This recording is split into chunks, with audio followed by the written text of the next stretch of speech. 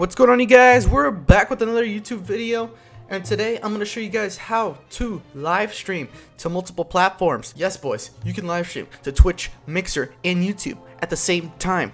It's crazy boys, it's crazy. So what you guys are going to want to do is look up restream.io. It's a uh, multiple streaming site. So you click that it should ask you guys to log in and I'll, I'll show you guys what the, that looks like once I log in. So give me one quick second. So once you guys are logged in, you guys are going to want to add a channel. So for example, Twitch, Mixer, or YouTube. So you click that, you add a, uh, so I'm where I add my YouTube channel.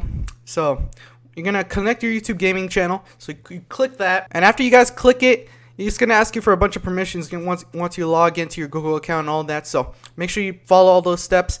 And then once you guys are done with that, you should get this added right here. All right. So then you, if you want to add another channel, so you click on add channel. So for example, we're going to do Mixer. We're going to connect to Mixer. And then it's going to ask you for a bunch of permissions. And then you're going to press approve. You guys approve the Mixer uh, authorization. It should uh, have two channels down right here.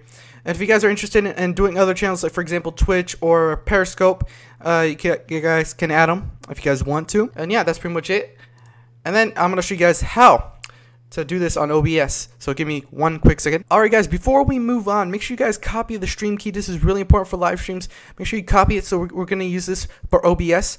So make sure you guys copy this and I'll see you guys on OBS. So once you guys are on OBS, it's um uh yeah it's uh, this might give you guys seizures, but okay. So once you're on OBS, you're gonna guys are gonna want to go to settings, click on settings, and once you're on your, the setting tab, you're gonna want to click stream. So I have set on YouTube Gaming right now. So what you guys gonna want to do is click restream.io, change the server, so whatever server you guys want. Make sure it's the same server as Restream. Make sure you guys copy and paste the stream key right here. This is really important for you to live stream. It doesn't matter what server you're on, but make sure you copy and paste the stream key. That's the important part. Once you guys have it, copy it and paste it. That's pretty much it. And yep, and guys, have fun streaming. And I'll see you guys in the next stream or video. Peace out, dudes.